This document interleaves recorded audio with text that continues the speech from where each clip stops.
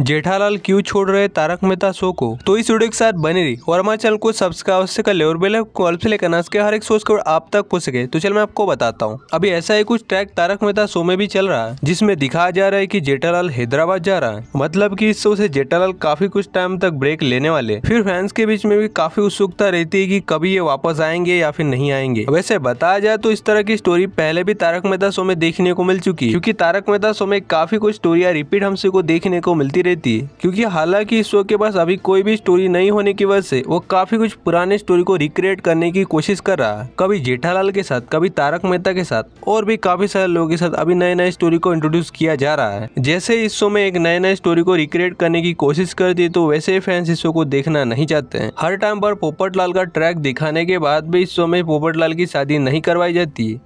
अब यही सिचुएशन जेठालाल के साथ भी हुई है। अगर उनको कुछ भी दिखाना होता है तो जेठालाल या फिर तारक मेहता पर वो डाल देते हैं। अब जब ये हैदराबाद वाला ट्रैक चल रहा है तो ये काफ़ी टाइम तक चलेगा। अब इसका ये मतलब नहीं है कि वो शो से क्यूट हो जाएँगे। शो के स्टोरी की वजह से दिखाने का प्रयत्न करेंगे कि काफ़ी टाइम बाद ये लौटने वाले ऐसा ही ट्रैक हमें तारक मेहता के टाइम पर देखने को मिला था, जब सेलेस लोडा इस शो से क्यूट हो गए थे। लेकिन काफ़ी चांस है कि अभी आपको जेठालाल ना देखने को मिले। अब जैसे ही ट्रैक खत्म हो जाए तो वैसे आपसे को जेठालाल भी देखने को मिल सकते हैं। बाकी अभी के लिए तो जेठालाल शो को नहीं छोड़ रहे, लेकिन ट्रैक ऐसा ही चल रहा है, जिस वजह से फैंस के बीच में काफ़ी कुछ बना हुआ है। लेकिन क्या पता फ्यूचर में इस शो से वो भी छोड़ दे।